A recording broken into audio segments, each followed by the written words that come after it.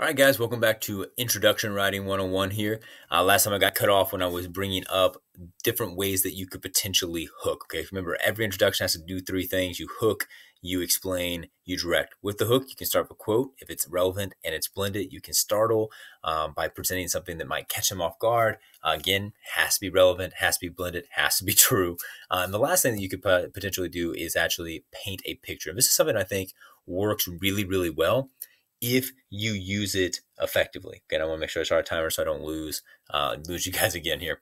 So what we could do here is actually start with some kind of like anecdote or some kind of story. Uh, so instead of giving me just like a direct quote or um, maybe like pulling up some kind of startling information, you could take us into a situation. Let's say that you're writing about um, like a concentration camp in Nazi Germany. Instead of giving a statistic about how many people uh, died in that camp or how many people were taken captive in that camp, what you could do instead is take us into the situation that they were in, draw us in by painting that picture, by giving us some kind of description where you are putting us into the eyes of somebody in that that concentration camp. You're then going to go straight into your explanation point but instead of us just having information given to us, we, we, we're starting to feel something. Now, here's the danger that you need to keep in mind when you use the painting option.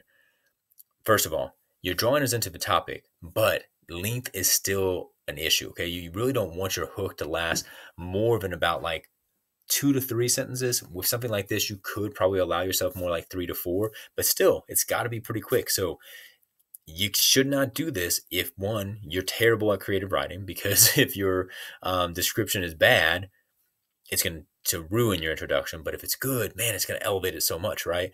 Um, you also should not do this if you can't pull that off in three to four sentences. But doing something like that in a college composition class is exactly the place where you're going to play around with that kind of writing okay?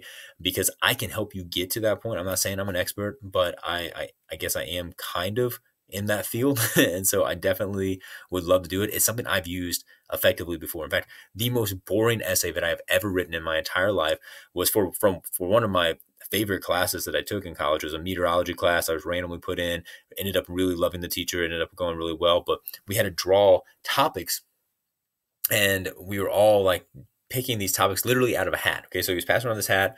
We were drawing these topics, and everybody else was pulling out like these weather storm kind of topics.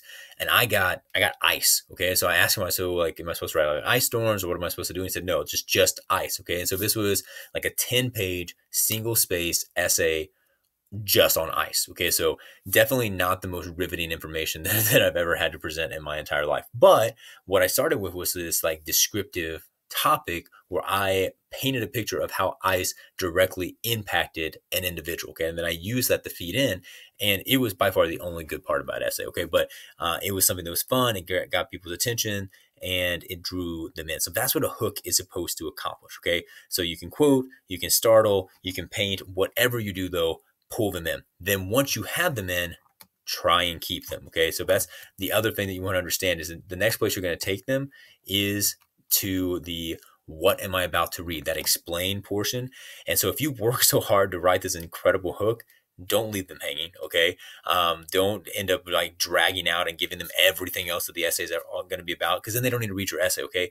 Give them just the necessary information that they need in order to understand what this is going to be about and then go on to your thesis statement, okay? So don't ruin it by saying giving them everything. Don't ruin it by saying things like in this essay we will that is bad writing. Plus, it's just redundant. Like you, we're reading your essay. Like where else are you going to tell us about this? Okay, um, so you've got them in. Don't lose them. Give them just the main things that they need. So, like, let's say you're writing about a book. You don't need five sentences to give me a summary of a book. You probably need one. Okay, we'll allow you two to four, but you don't need a lot of space for that. Give us the main things. Move on to your thesis statement. Okay, so you're gonna hook you're going to explain, and the last thing you're going to do is direct, which we will pick that up in the next video. Okay. All right, guys, have a great day. Make wise decisions. I will see you probably really, really soon in the next video. Merry Christmas. How do I stop this thing? You guys can watch me stumble for a second.